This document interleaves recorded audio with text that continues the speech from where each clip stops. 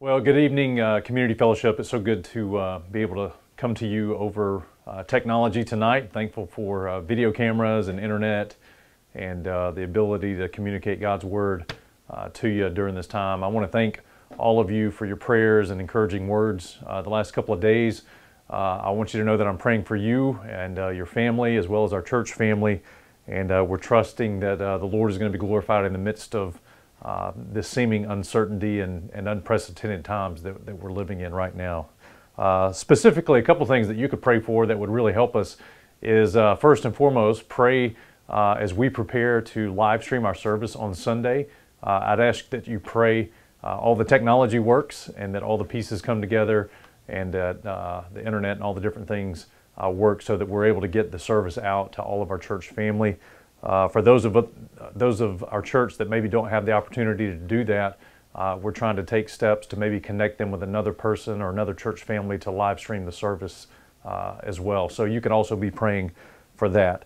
Uh, the second thing I'd ask for you to pray for is to uh, just pray that we keep an outward focus during this time. It would be really, really easy amidst all the news and, and media and the things that are telling us to isolate and withdraw ourselves uh, it would be really easy to lose our kingdom focus.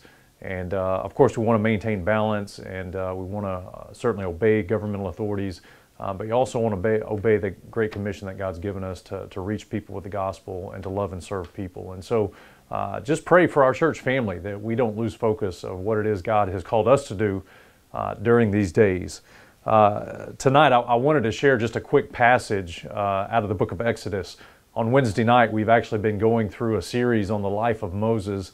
And uh, this next section of text that we would have actually shared with the church tonight uh, is a great, I think, passage of encouragement. And I wanted to share it with you uh, all tonight. And, and hopefully, it's an encouragement to you from God's Word. Exodus chapter 3, verses 10 to 13.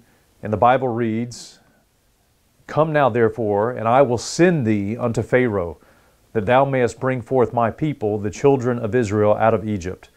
And Moses said unto God, Who am I that I should go unto Pharaoh, and that I should bring forth the children of Israel out of Egypt?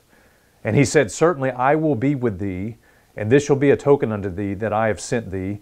When thou hast brought forth the people out of Egypt, ye shall serve God upon this mountain.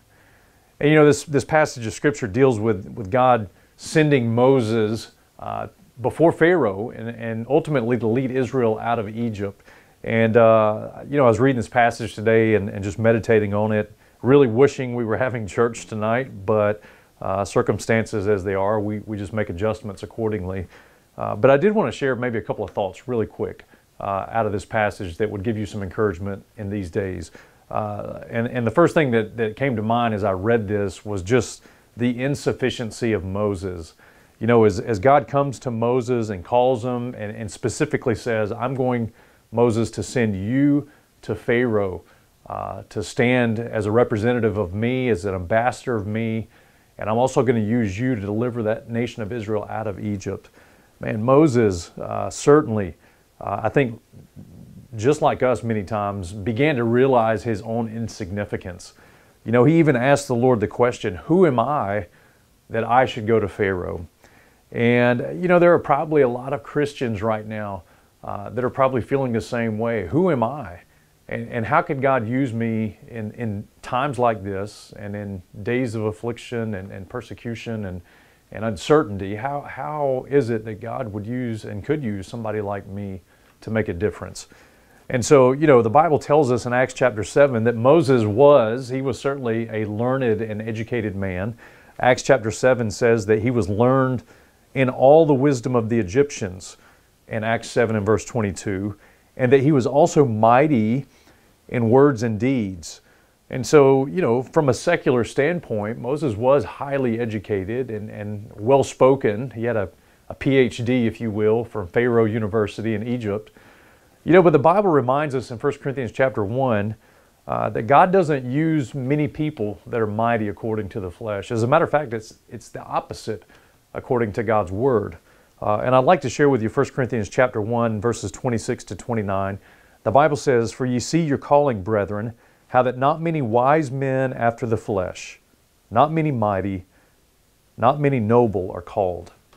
But God hath chosen the foolish things of the world to confound the wise, and God hath chosen the weak things of the world to confound the things which are mighty, and the base things of the world, and the things which are despised hath God chosen, yea, and the things which are not, to bring to naught the things that are, that no flesh should glory in his presence. And you know, during these days, you may be asking yourself, how is it that I could be used of God? Who am I? I mean, really, who am I?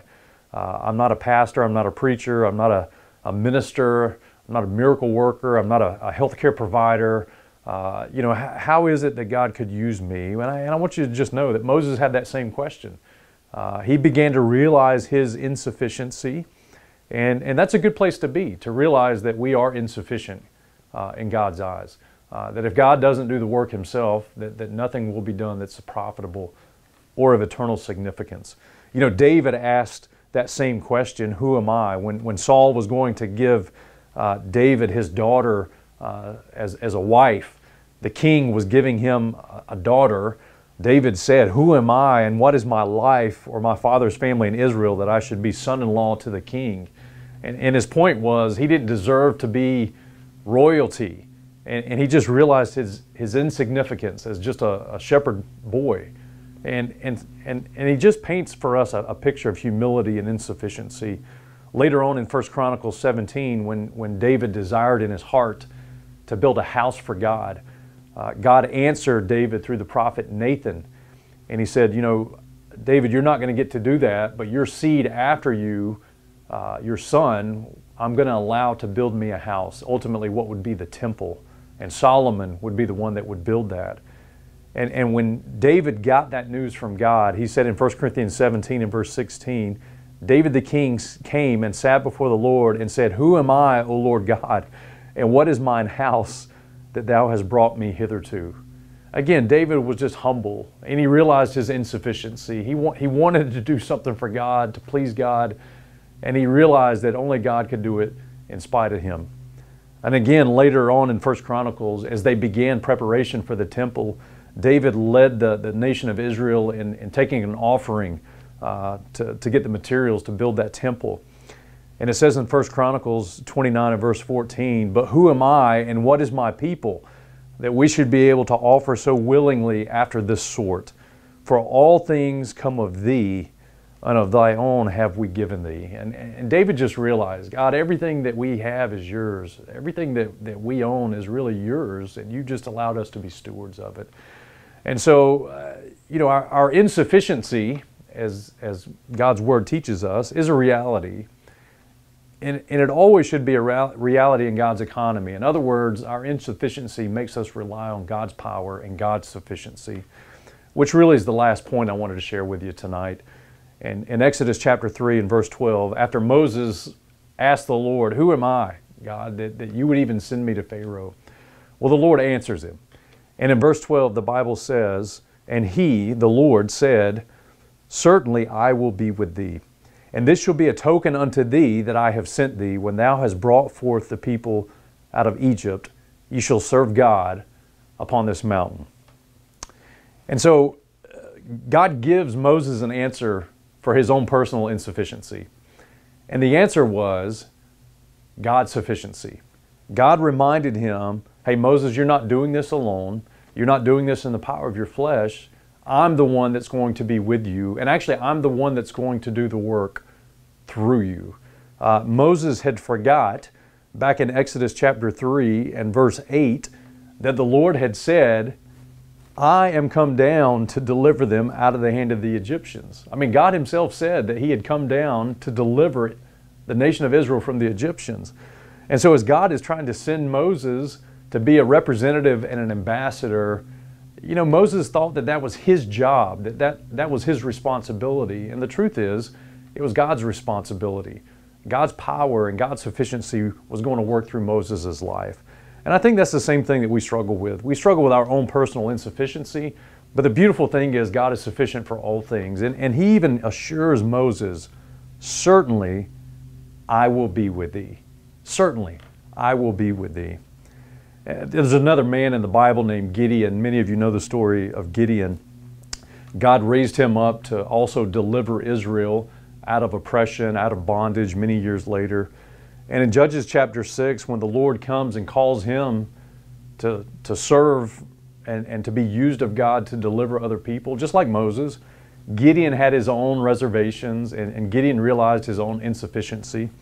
The Bible says in Judges 6, verses 15 and 16, this is Gideon speaking, he said unto him, O my Lord, wherewith shall I serve Israel? Shall I save Israel? Excuse me. Behold, my father is poor in Manasseh, and I am the least in my father's house. And the Lord said unto him, Surely I will be with thee, and thou shalt smite the Midianites as one man. And, and I just want to encourage us, church, tonight. Listen, God has promised that He will be with us. It's His power through which we operate in this world. It's His power that is sufficient right now in, in times like this to be used of God to minister to other people. And I just in closing want to remind you of Matthew 28, verses 18 to 20. I hope it gives comfort to your heart tonight. Uh, verse 18 says this Jesus came and spake unto them, saying, All power is given unto me in heaven and in earth. And of course, Jesus is speaking this to the, the disciples. This is after the resurrection, right before his ascension in Acts chapter 1. And he just reminds us that he has all power in heaven and earth all power in heaven and earth. And then he commissions those disciples and he says, Go ye therefore and teach all nations, baptizing them in the name of the Father and of the Son and of the Holy Ghost, teaching them to observe all things whatsoever I've commanded you. And lo, I am with you always, even unto the end of the world. Amen.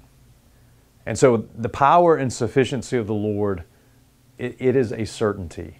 Just like the Lord told Moses, Listen, certainly I will be with you. And I'm going to go with you as you go before Pharaoh. And I'm going to go with you as you deliver Israel from the affliction and the bondage that they're in. Listen, guys, God has promised His presence to us. He says He's going to be with us always and forever, even to the end of the world. And His power is all powerful in heaven and earth. And God wants to use you in these days to make a difference for His glory's sake. And so I'm praying for you uh, that God would open the doors of opportunity uh, to minister to those around you, your neighbors, your family. And I'm praying that the gospel would go forth as, as we, by the grace of God, seek to be used of God to see other people delivered from their affliction and their bondage into spiritual victory. Church, I love you very, very much. We'll have more announcements and news coming very, very soon via email. God bless you, and I love you very much.